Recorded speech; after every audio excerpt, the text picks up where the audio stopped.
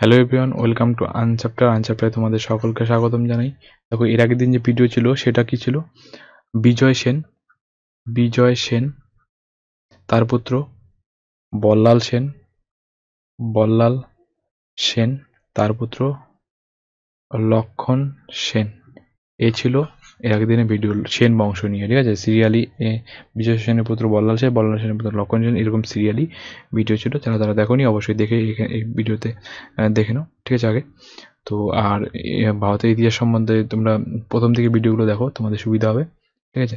চলো, আজকের ভিডিওটা শুরু করা যাক। আজকের যে ভিডিও রয়েছে, সেটা বাতাপির আদি চালুক্য যে বংশ, সে আদি চালুক্যর বংশ নিয়ে আজকে আলোচনা করা হবে। চলো, দেখা যাক, পয়েন্ট পয়েন্ট কি রয়েছে। ঠিক আছে? চালুক্যদের প্রথম রাজধানী ছিল বর্তমানে বিজ- বিজাপুর, ঠিক আছে? বিজাপুর জেলায় বাতাপি। বর্তমানে যে বিজাপুর জেলার বাতাপি, সেটা ছিল কি? চালুক্যদের রাজধানী ছিল, ঠিক আছে? বর্তমানে কোথায়? বিজাপুর জেলার বাতাপি। বর্তমানে বর্তমান বাদামি নগর, ঠিক আছে? বর্তমানে বাদামি নগর, ঠিক আছে? বাতাবি বা বাদামি নগর। এই বংশের প্রথম স্বাধীন নরপতি ছিলেন প্রথম পুলকেশী। এই চালুক্য বংশের প্রথম যে নরপতি বা প্রথম যে রাজা ছিলেন, স্বাধীন নরপতি কে ছিলেন? প্রথম পুলকেশী, পাঁচশো পঁয়ত্রিশ থেকে পাঁচশো ছেষট্টি খ্রিস্টাব্দে। তার আমলে উৎকীর্ণ বাতাবির এই লিপি থেকে তার কার্যকালের বিবরণ পাওয়া যায়। ঠিক আছে, তার আমলে উৎকীর্ণ বাতাপি লিপি থেকে তার কার্য, কার্যকরণের বিবরণ পাওয়া যায়। ঠিক আছে প্রথম পুলকেশীর। তার পুত্র কীর্তিবর্মন এই প্রথম পুলকেশীর পুত্র কে ছিলেন? কীর্তিবর্মন পরাশ্রমশালী, পরা- পরাশ্রমশালী নৃপতি ছিলেন। পাঁচশো ছেষট্টি থেকে পাঁচশো সাতানব্বই খ্রিস্টাব্দ, ঠিক আছে? এই কীর্তিবর্মন কার পুত্র? প্রথম পুলকেশীর, ঠিক আছে? পরাশ্রম, পরাশ্রমশালী নৃপতি ছিলেন, ঠিক আছে? এই কীর্তিবর্মন কীর্তিবর্মনের পর তার ভ্রাতা অর্থাৎ ভাই মঙ্গলেশ, অর্থাৎ কীর্তি কীর্তিবর্মনের যে ভাই ছিল, মঙ্গলেশ সিংহাসনে বসেন, ঠিক আছে? তারপরে দেখো, দ্বিতীয় পুলকেশি। দ্বিতীয় পুলকেশী ছশো দশ থেকে ছশো বিয়াল্লিশ খ্রিস্টাব্দ ছিলেন এই বংশের সর্বশ্রেষ্ঠ নরপতি। এই বংশের যদি সর্বশ্রেষ্ঠ নরপতি যদি প্রথম নরপতি বলেন, তাহলে তো স্বাধীন প্রথম নরপতি, প্রথম পুলকেশী এবং দ্বিতীয় নরপতি হচ্ছেন, দ্বিতীয় নরপতি বা রাজা ছিলেন সর্বশ্রেষ্ঠ এই বংশের, পুলকেশী বংশ, ঠিক আছে? তিনি বল্লভ পৃথিবী, বল্লভ, তিনি বল্লভ পৃথিবী বল্লভ, পরমেশ্বর, পরম ভাগ- ভাগবত প্রভৃতি নামে পরিচিত ছিলেন। কি কি নাম? বল্লভ, দ্বিতীয় পুলকেশীর কি কি নাম ছিল? বল্লভ পৃথিবী বল্লভ, ঠিক আছে? তারপরে পরমেশ্বর পরম ভাগবত প্রভৃতি নামে উল্লেখ ছিল এই দ্বিতীয় পুলকেশী তার সভাকবি রবির কীর্তি রচিত আইহল শিলালিপি, আইহল প্রশস্তি, আই, বা আইহল শিলালিপি অনেক আইহল প্রশস্তিও দেখবে, ঠিক আছে? তো তার যে সভাকবি দ্বি- দ্বিতীয় পুলকেশী সভাকবি কে ছিলেন? রবির কীর্তি, ঠিক আছে? খুব গুরুত্বপূর্ণ একজন ব্যক্তি। রবির কীর্তি ছিল সভাপতি। এই রবির কীর্তি কি করে? রবি কীর্তির যে উম, কীর্তির তার যে লেখা গ্রন্থ সেটা হচ্ছে আইহল শিয়ালিপি থেকে তার এই দ্বিতীয় পুলকেশী সম্বন্ধে জানা যায় ঠিক আছে? দ্বিতীয় পুলকেশী সভা- সভাপতি সভা সভাকবি কে ছিলেন? তাহলে রবির কীর্তি ঠিক আছে? তার লেখা আইহল প্রশস্ত আইহল শিয়ালিপি ঠিক আছে? তারপর দেখো কনৌজ কনৌজ রাজ হর্ষবর্ধন দাক্ষিণাত্য জয়ে অগ্রসর হলে দ্বিতীয় পুলকেশী কাছে তিনি পরাজিত হন। ঠিক আছে? হর্ষবর্ধন যখন দাক্ষিণাত্য জয় করার দিকে চলে শুরু করে দাক্ষিণাত্য জয়ের দিকে রওনা দেয় ঠিক আছে? তখন দ্বিতীয় পুলকেশীর কাছে কিন্তু পরাজিত হন এই আহ, হর্ষবর্ধন। তিনি পল্লব রাজ পল্লব রাজ প্রথম মহেন্দ্র বর্মনকে পরাস্ত করেন ঠিক আছে? দ্বিতীয় পুলকেশী কি করেন? পল্লব রাজ প্রথম মহেন্দ্র বর্মনকে পরাস্ত করে তার রাজধানী কাঞ্চি কাঞ্চিতে নগরী কাঞ্চি নগরীকে বিপন্ন আক্রমণ করেন। ঠিক আছে? দ্বিতীয় পুলকেশী। তারপর দেখো, পরবর্তী পল্লব রাজ পরবর্তী পর- পল্লবরাজ নরসিংহ বর্মনের হাতে দ্বিতীয় পুলকেশী নিহত হন। পরবর্তী পরবর্তী যে পল্লবরাজ নরসিংহ সিংহ বর্মনের হাতে দ্বিতীয় পুলকেশী নিহত হন। ছশো বিয়াল্লিশ খ্রিস্টাব্দে বাতাবি ধ্বংস হয়। ঠিক আছে, তারপর বাতাবি ধ্বংস হয়ে যায়। তারপর দেখো, নরসিংহ বর্মন বাতাবি কণ্ড বা বাতাবি বিজেতা উপাধি ধারণ করেন। ঠিক আছে, এই নরসিংহ বর্মন কি করে? বাতাপি, নরসিংহ বর্মন বাতাপি কণ্ড বা বাতাপি বিজেতা উপাধি ধারণ করেন। বাতাবি বিজেতা বা বাতাবি কণ্ড হর্ষকে অর্থাৎ হর্ষবর্ধনকে উত্তর, উত্তরাপথনাথ বলা হয়। হর্ষবর্ধন বা হর্ষকে কি বলা হয়? উত্তরাপথনাথ বলা হয়। বলা হলে দ্বিতীয় পুলকেশীকে দক্ষিণা পথনাথ বলা হয়। ঠিক আছে? হর্ষবর্ধনকে বলা হয় উত্তরা পথনাথ এবং দ্বিতীয় পুলকেশীকে কি বলা হয়? দক্ষিণা পথনাথ ঠিক আছে? দ্বিতীয় পুলকেশীর দ্বিতীয় পুলকেশীর সঙ্গে পারস্য সম্রাট দ্বিতীয় খসরুর মৈত্রীর সম্পর্ক ছিল। ঠিক আছে? দ্বিতীয় পুলকেশীর সঙ্গে কার সম্পর্ক ছিল? বন্ধুত্বের। পারস্য সম্রাট দ্বিতীয় খসরু। ঠিক আছে, দ্বিতীয় খসরুর বন্ধুত্ব সম্পর্ক ছিল।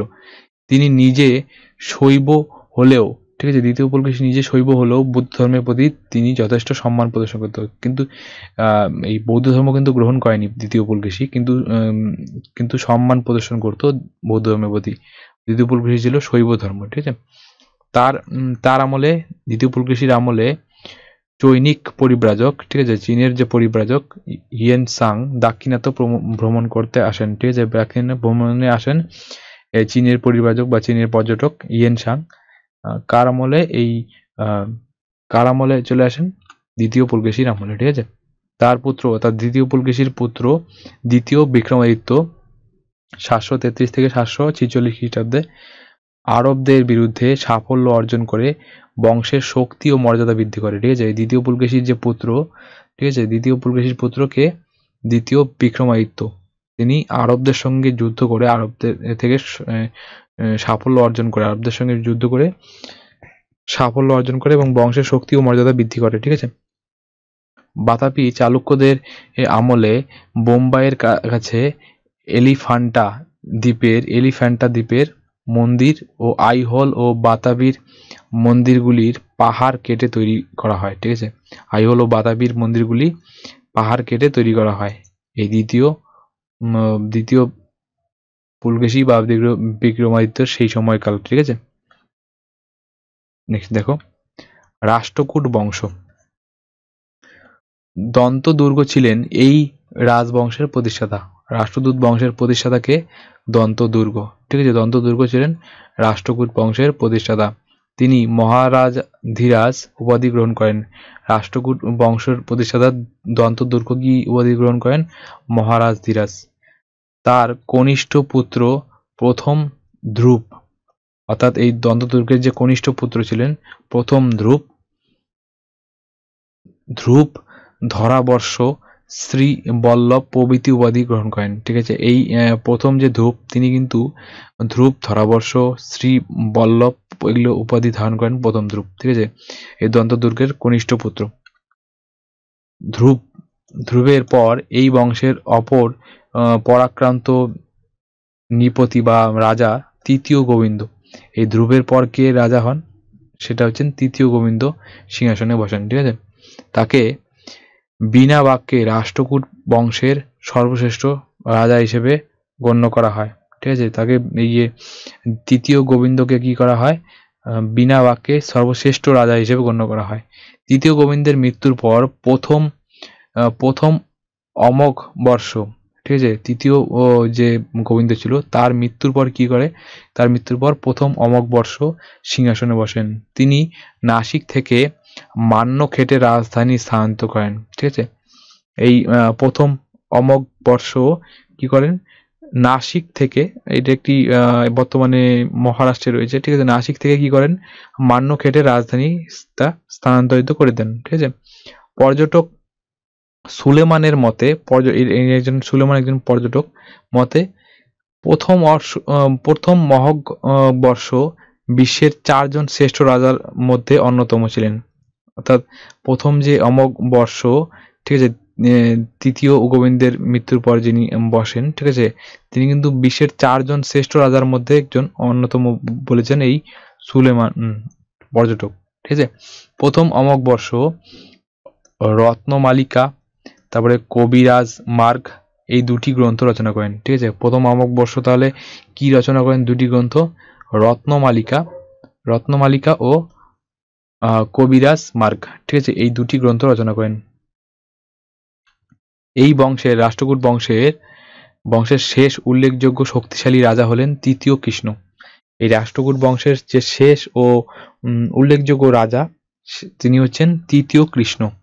সিংহলের রাজা তার বশতা মেনে নেন। ঠিক আছে? সিংহলে অর্থাৎ বর্তমানে যে শ্রীলঙ্কা রয়েছে, তার এই বশতা অর্থাৎ এই তৃতীয় কৃষ্ণের বশতা মেনে নেন। ঠিক আছে?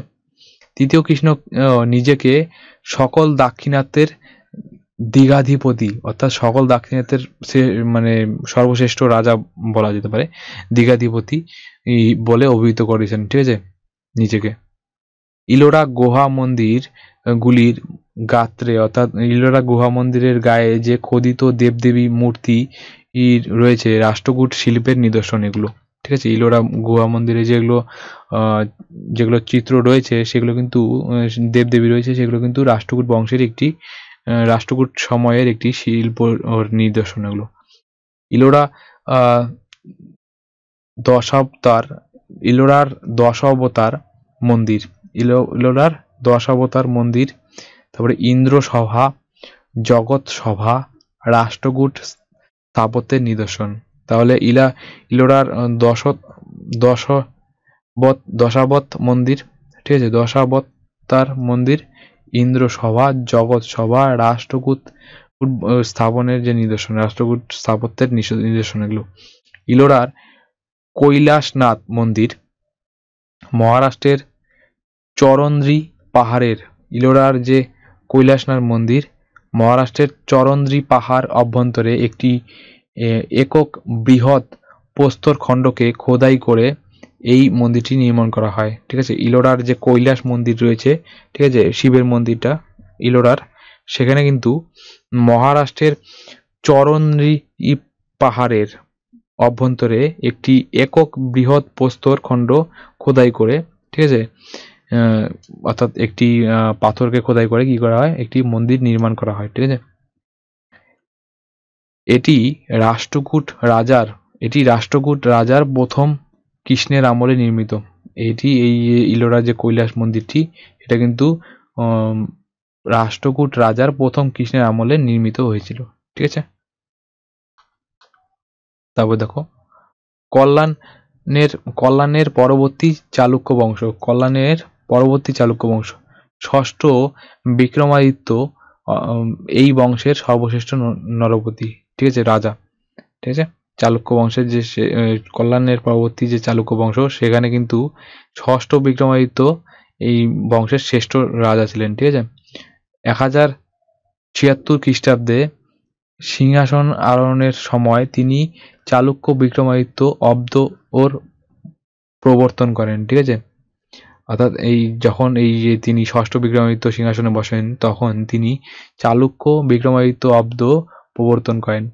তার সভাকবি, তার যে সভাকবি ছিলেন, বিহল্লন, বিহল্লনের বিক্রমাঙ্কে, বিক্রমাঙ্কদের চরিত্র, গ্রন্থ থেকে তার সামরিক প্রতিভা ও কৃতিত্বের কথা জানা যায়, ঠিক আছে? বিলহন ছাড়াও মতি, বিল, বিলহন ছাড়াও কিন্তু মিতা খরা গ্রন্থের রচয়িতা, বিজ্ঞানেশ্বর তার রাজসভা অলঙ্কৃত করেছে, ঠিক আছে? বিজ্ঞানেশ্বর কি রচনা করেছে? বিলহন ছাড়াও কিন্তু মতি খরা রচনা করেছেন, ঠিক আছে? তো এই গেল চালুক্য বংশ সম্বন্ধে কিছু তথ্য। তো নেক্সট ভিডিওতে কি আলোচনা করা হবে? কাঞ্চির পল্লব বংশ, ঠিক আছে? আরেকটি ভিডিও পরে কিন্তু মধ্য মধ্যযুগে ভার- ভারতের ইতিহাসে মধ্যযুগ আলোচনা করা হবে। এই এই কাঞ্চির পল্লব বংশ আর প্রথম মহেন্দ্র বর্ম এই সব কিছু রয়েছে, প্রথম নরসিংহ বর্মন। এই দুই তিনটে আলোচনা করার পরে কিন্তু মধ্য যুগ নিয়ে আলোচনা করা হবে ভারতের মধ্যযুগ নিয়ে, ঠিক আছে? তো দেখা হবে নেক্সট ভিডিওতে ততক্ষণের জন্য ধন্যবাদ। যারা নতুন, অবশ্যই চ্যানেলটি সাবস্ক্রাইব করে দিও।